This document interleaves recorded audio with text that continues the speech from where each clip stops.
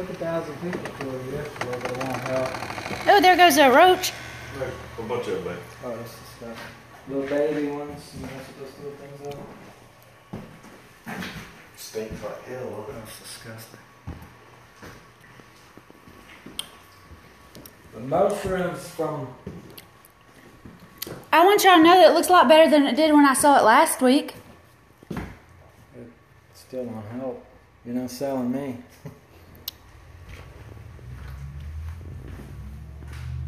you talk about touching, that's probably the best looking thing in the apartment. It's your tile. I don't know. I think I want to replace the whole shower. You need to replace a whole lot more than the shower. See what I was telling you about the foil? I think this room is just dropped. Hey, y'all.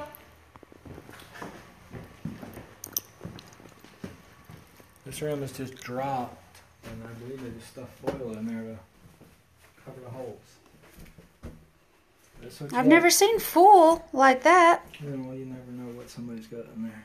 But this is your cinder block right here. One by twos, paneling, and just this little, little vapor barrier. That's what you got. That's your insulation. You okay, babe? Look at this mold, y'all. Look off above. Oh, yeah, it's on the ceiling, too. What's that? From floor to ceiling? You know, this looks good compared to the apartments we looked at this morning. Say hi, Steve. You're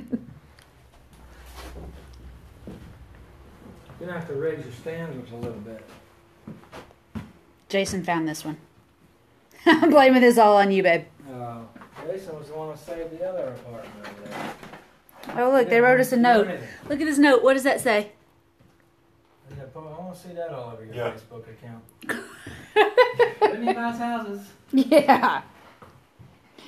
I'm scared to open these cabinets. Oh, Oh, I wouldn't. Hey, there's roaches. Look. they're everywhere. Hey, guys. Little fellers. That's where the fridge There's was. one over here is following you. He must be, This one's must be your pet. Yeah, he's gonna go home with you. I Can't believe there's people living in here. That's disgusting. Oh yeah, they're there. All right, guys. Hey. Holy shit! two cans ain't gonna do nothing. Look at those. Nice.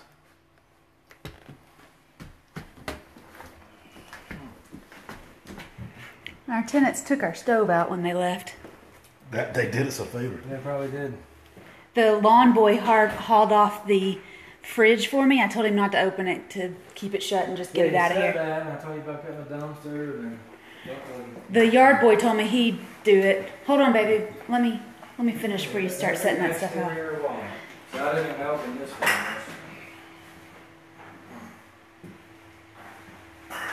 So if anybody wants an apartment, we've got one available in Morristown. This is the third bedroom. God, this stinks.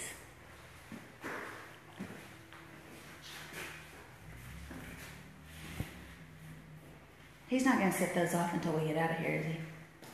This used to be a garage. Ceiling thing, that's not even right either. Oh, gosh. Yeah, mildew and mold everywhere. In fact, still- this was done later because this was the garage. This was the garage, yeah. So they've done something here, and they still went ahead and did it the same way, right up against the block. I don't even know what that is right there. There's dead cockroaches in the door seal. And we haven't had these doors closed. That's gross. No, I wouldn't have- it wouldn't have popped Nah, I've had this this property. We've had this place for a year. Um, but we didn't look in this unit before we bought it.